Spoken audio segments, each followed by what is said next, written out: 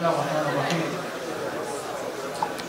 الحمد لله والصلاة والسلام على رسول الله وعلى آله وصحبه ومن والاه. وسلم بسنته واهتدى بهداه اللهم واجعلنا منهم يا رب العالمين. اللهم واجعلنا منهم يا رب العالمين. يا إخوان اجعلوا من وقوتكم في المسجد طاعة لله سبحانه وتعالى. على المسجد إنه الاعتكاف نويت الاعتكاف في هذا نويت الاعتكاف وهو من ان تفيد ربنا سبحانه وتعالى يكتب لك الاعتكاف أيضا. ف آه، يعني شيء آه، تحصيل حاصل فيما بعد. طيب حنافي قال أن الصوم لغة هو الامتناع ومنه آه، قول مريم. إني نظرت للرحمن صوما فلن أكلم اليوم إنسيا إني أمتنع عن الكلام. فالصوم في اللغة الامتناع صام عن الشيء يمتنع عنه. أما في تعريف الشرع فالصوم هو الامتناع عن المفطرات من طلوع الفجر إلى غياب الشمس مع النية. والامتناع عن المفطرات من طلوع الفجر إلى غروب الشمس مع النية.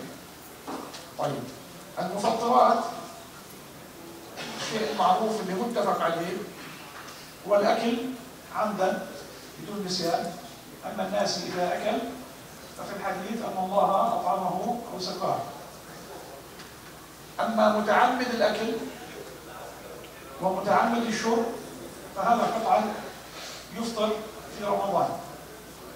كذلك من تعمد الجماع في شهر رمضان أو تعمد الجنابة في رمضان حتى لو لم يكن بجماع فهذا أيضا يفطر بدون خلاف الأكل والشرب يفطران. الجماع أو الجنابة في رمضان عمدا أيضا تفطر. أنا قلت في التعريف مع النية. فلو غير الإنسان نيته أثناء الصيام أيضا يفطر. حتى وإن لم يأكل وإن لم يشرب. يعني واحد قال إنه خلاص أنا أفطر اليوم مش قادر أكمل مثلا خلاص أفطر. سواء أكل أو شرب أو ما أكل أو شرب لأنه غير النية تبعته يعتبر مفطر. فهذه الثلاثة بالإجماع تفطر. الآن قياسا على الأكل والشرب كل ما دخل الجوف من مدخل طبيعي كالفم أو الأنف مثلا ووصل إلى الجوف وكان من جنس الأكل أو من جنس الشراب فهو من المفطرات. We are talking, brothers, about the definition of Sawm and things that break your fasting.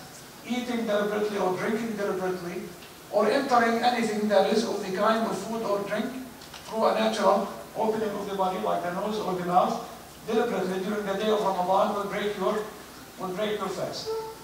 Also, having a sexual relationship during the day of Ramadan breaks your fast. Changing your niyyah, that you are not fasting anymore, breaks your fast, even if you do not actually eat or drink or get engaged in a sexual relationship.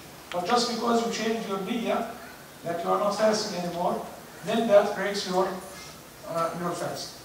Now, examples of things also that some scholars say that break your fast. Bleeding. If you induce bleeding deliberately, and if it is profound, some scholars say that that breaks your fast because the Prophet ﷺ says, أفطر الحاجم والمحجوم. The one who induces blood and the one who is bleeding, both of them have nullified their fast. Now, there is another hadith that says, احتجم رسول الله وهو صائم. Again, some say that hijama or inducing blood bleeding, even if it is deliberate, does not nullify your uh, siyam because the Prophet ﷺ did that, and that is, Wallahu A'lam, is the more correct opinion. Throwing up, inducing, throwing up deliberately, again, if that is profound and the minimum of it is a mouthful, again, according to many scholars, that will nullify your uh, uh, your siyam. If you take an injection that is not of the kind of food, Like you want to pull a tooth out and you have uh, an anesthesia shot, for example.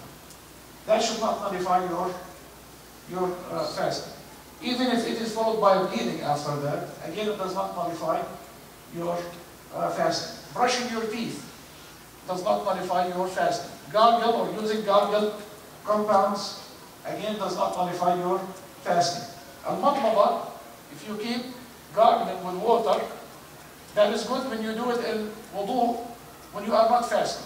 Because the Prophet ﷺ says, وَبَالِغْ فِي الْمَضْمَضَةِ مَا لَمْ تَكُنْ صَائِمًا It's better to do madmada a lot, as long as you are not fasting. If you are fasting, then it is better not to do that. Taking a shower, cold shower when you are fasting, that is fine. Swimming again, that is fine. Swallowing your saliva, that is, uh, uh, uh, that is fine. These are some of the things that people usually ask about during the month of Ramadan. quickly, if you are traveling, Allah subhanahu wa ta'ala says, فَمَنْ كَانَ مِنْكُمْ مَرِيضًا أَوْ عَلَى سَفَرٍ فَعِدَةٌ مِنْ أَيَّامٍ أُخَرٍ Traveling means that you are actually traveling. Not because you have the niyyah that you are traveling, you break your fast.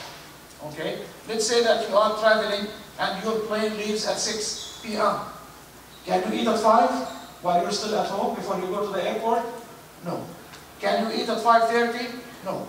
Can you eat at 10 minutes till 6 while you're at the airport waiting? No. When can you eat? When you are inside the plane and the plane starts moving. Then you are actually traveling. The niyyah itself does not, you know, make you a musafir. What makes you a musafir is the actual, uh, the actual safar. Marid, if you are sick, it's one of two things. Either your sickness is permanent, and there is no hope that you can do fasting in the future. In this case, you pay a sadaqah, kafara, I think they estimated this year at $10 for a day, you give it to the poor for every day that you do not fast. If you can, cannot fast because you are temporarily sick, but after Ramadan or during Ramadan, your health will come back to you. Then after Ramadan, you're supposed to make it up. You do not pay the fitrah. Now, most of the scholars say you have to do it before the next Ramadan comes. Okay? And if the next Ramadan comes and you did not make up what you have missed, then you have to give a kafara.